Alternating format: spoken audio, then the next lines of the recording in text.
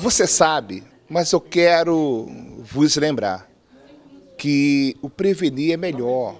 Essa campanha do Novembro Azul é para você se prevenir. Você não pode ter medo e nem vergonha. A sua saúde está acima de tudo, é a sua vida. Então vamos cuidar da nossa vida, vamos valorizar a vida. O Senhor pode, fala com seus amigos, fala com seus companheiros, a importância de se prevenir. É melhor se prevenir. Deus abençoe você. Vamos junto nessa campanha, porque com certeza é para a sua saúde, em favor da sua vida.